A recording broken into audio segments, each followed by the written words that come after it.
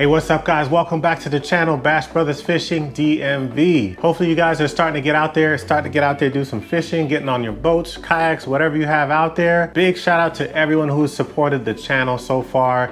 The channel is continuing to grow and it's all because of you guys out there. Thank you, means a lot to us. Hopefully you'll continue to enjoy what we have in store. 2021 is shaping up to be a awesome year. Got some cool things in store. Excited to bring this cool video to you today and also announce the winner to the TB Nation gift card giveaway. I got the giveaway announcement for the winner at the end of this video. So watch this video till the end to see who gets the Moolah. All right, before we get started today, I gotta give a shout out to Warren at Way of Fishing. I was randomly just watching one of his videos and stumbled across a life-saving piece of information. It's winter time. I've been freezing my tail off in this garage. I mean bad. I'm working on the boat. My nose is running. My hands are cold. My feet are frozen. And he mentioned in his video arbitrarily that He's running a kerosene heater. I've been trying to figure out how to heat this garage. Went through a bunch of options that I won't even begin to tell you guys about. Some cost 500, some cost $1,000 to put in.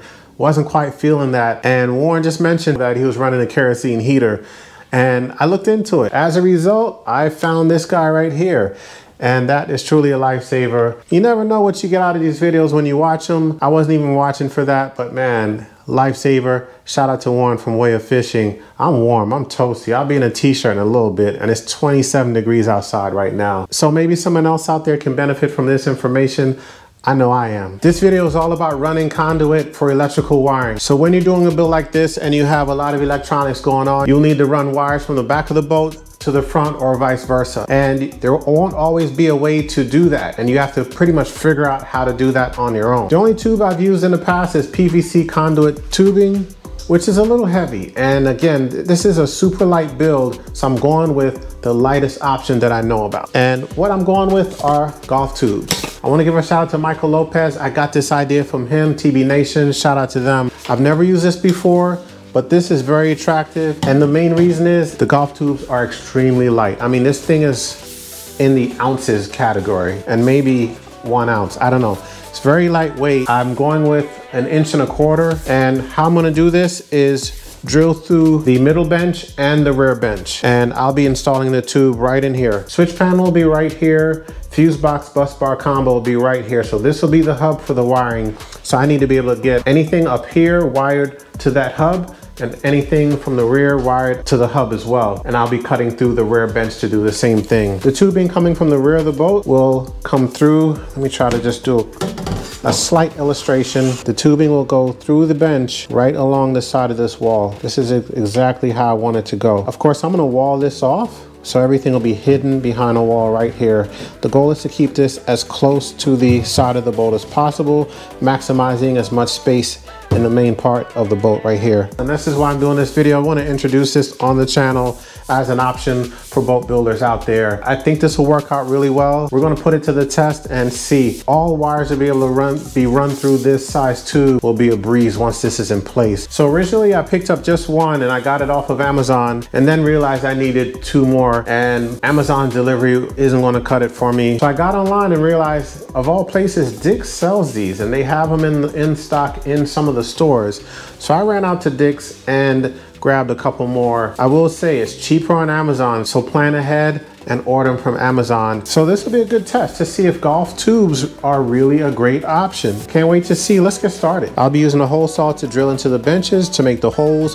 One thing you always have to consider when drilling holes for tubing is you have to account for not only the size of the opening of the tube, but the actual thickness of the tube as well. For a normal PVC pipe, normally equates to about a quarter of an inch difference. So if you have, let's say one inch tubing, you need an inch and a quarter hole saw. In this case, I'm, it's about half of that with these golf tubes. This is about 1 16th on each side. So you add it up, that's an eighth of an inch. This is an inch and a quarter tubing, which means you need an inch and 3 eighths hole saw. I remember making that mistake when I did my boat. I bought the exact same size hole saw that was my tube and it was too small. I'm gonna mark my holes Make sure everything lines up nicely, front and rear. I've got my hole marked out. X marks the spot.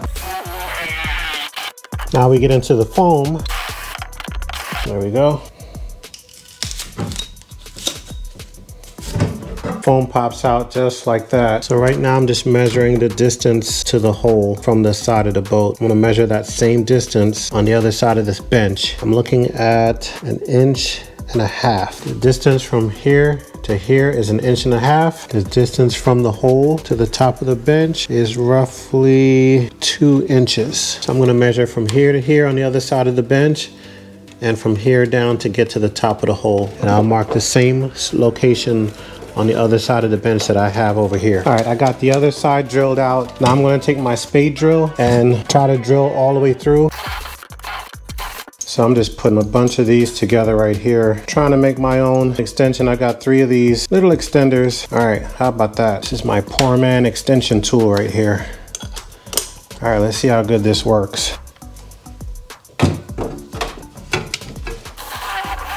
That feels pretty good. I think I broke through. All right, get this out. There you go, guys. My budget drill bit extension actually worked. I'm gonna try to get the GoPro in the right place. You can see that I drilled all the way through. It looks like I got a little bit of shaving that I could do to clean it up a little bit. I'm gonna try to use the tube to push the rest of that stuff through. Again, this is really thin tubing, so I don't know how well it will do. When I did my, when I used PVC pipes, it could push through pretty well. Oh, there you go. I think that is it. Let's give you a shot from the other side. There you go. All right, got it. Got it through. That is perfect. That's a nice little lip too. I like that a lot. All right, so there you have it. We have a perfect inch and a quarter tube going through. That is a lot of space to be able to run my conduit. I'm actually very excited about this. This will be a lot easier than previous build running wires. All right, I'm pretty excited, very happy. Success. The most nerve-wracking part is just trying to make sure you have the hole lined up on either side of the bench. And I was able to do that. Just did a simple measurement and also just eyeballed it to make sure that it looked right. But that looks awesome, guys. Look at that. This is gonna work out really well. If you think it's hard to do it the first time, it's always harder to do it twice because you gotta keep the same level of patience and diligence. Oftentimes you'll do it right the first time and say, hey, I got it, and kind of rush through it on the second time and then screw up. So I'm gonna take a couple deep breaths, get my head back in the game real quick, start over, and do this side, run the tube through and test it out with a few wires. Let's go. I don't have a point of reference of any kind of framing in front of this bench to mark my hole off of. I'll have angle aluminum going along, creating the base of the wall right here. So this needs to be on the inside of this lip right here. And I did accomplish that. If I put it right here, this would sit right like this. Looks like I have about three quarters of an inch gap between the aluminum and this tube. So that's gonna work out pretty good. I think I can go ahead and drill right where I'm at right now. And the measurements are pretty close to what they are up front. Two inches up top and an inch and a half down bottom. Yeah, I think I'm good. Just like I did on the other side, I am going to mark center hole using the hole saw, the inner hole of the hole saw. Just like that. See my handy dandy circles. Now I want to go ahead and get this tube through here. I've got a GoPro on the other side that will show, hopefully show it come through.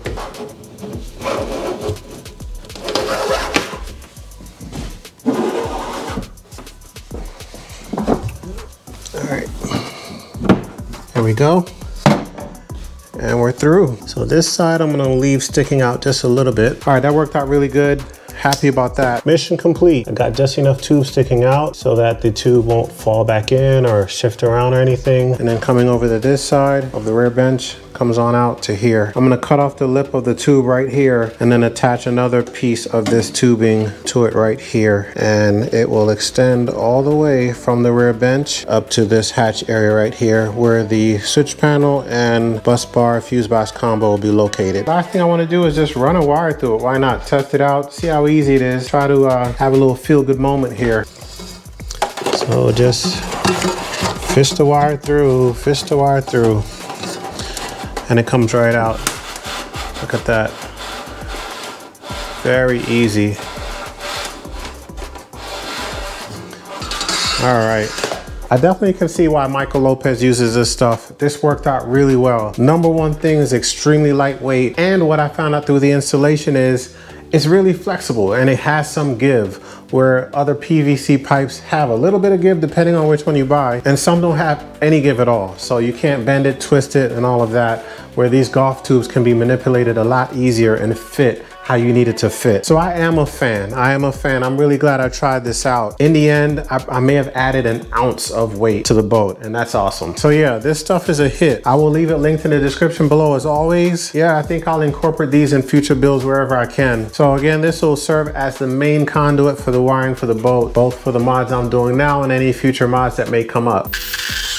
To join the two golf tubes together, I'm gonna go with good old fashioned duct tape. I just need it to be held together just enough for wires to be able to go through here. And of course, duct tape will work perfectly for that. I'll get a good wrap around it. And then I'll secure it to the back of this angle aluminum right here. And I've got some C-clamps just laying around that I used on my boat. I'm gonna use this clamp. This is a one inch C-clamp, actually fits perfectly around this inch and a quarter tube. And I'm gonna secure it. So this thing will not move or shift as this boat's being used. I use self-tapping screws, screw it right into this angle aluminum.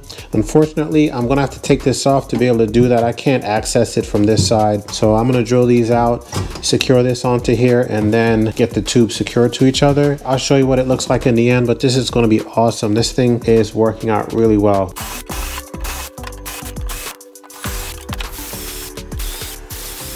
I pre-drilled the holes just to make it easier for me to screw them in. These are self-tapping screws.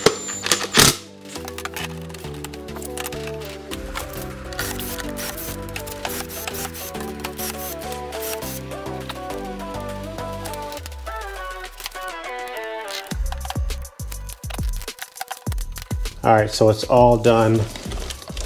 I've got the C-clamp back there, holding that in place perfectly. The duct tape looked like it's gonna hold up really well. I put three, three layers on right there. And I'll probably install a vertical piece of angle aluminum right here and secure this as well there. Now we'll see. All in all, it's gonna be very secure and I'll be able to run wire through that all day long. For this mod, all wires from the front will go through here and come out in the middle and, and likewise for the rear all the wires from the rear will come through here into this box but again for any future mods that may come up and you need to run a wire from front to back you can easily get the wire to pass straight through that gap and continue to the rear of the boat. There you have it. This was an awesome addition to the boat build. Wanted to try it out for myself and guys, I agree. Awesome material so far, no issues, very lightweight. And man, I shoved so many wires through that thing easily versus my boat where I used a half inch conduit tube and I was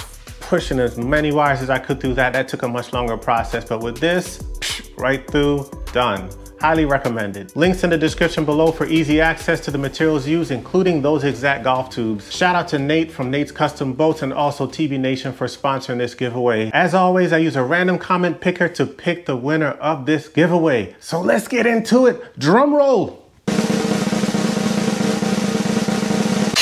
And the winner is Nick Swanson. Nick, you're the winner. Congratulations. Shoot me your information. All the information is below. Send me an email so I can get this gift card to you. Nick Swanson is the winner. Now we get into the electronic portion of this build process. So those are the next upcoming videos to be posted on the channel. We've got the Elco motor installed, all electric motor, as well as all the LEDs installed in this boat. We've got the nav lights, deck lights, hatch lights, also the bilge pump, battery install, the whole nine yards, guys. About to post that on the channel, so stay tuned to that. If you haven't subscribed to the channel, hit that subscribe button. Leave a comment and a like on this video if you got something out of it. Don't forget also check us out on Instagram and Facebook. I post a lot of content on there way before it even hits YouTube. So if you ever wanna know, hey, what's going on with Bass Brothers? Check IG or Facebook as well. Got the full playlist link below to this Jon Boat build right behind me, the Alumacraft 1232. We're gonna keep this thing rolling as always. Stay safe out there. We'll see you on the next video.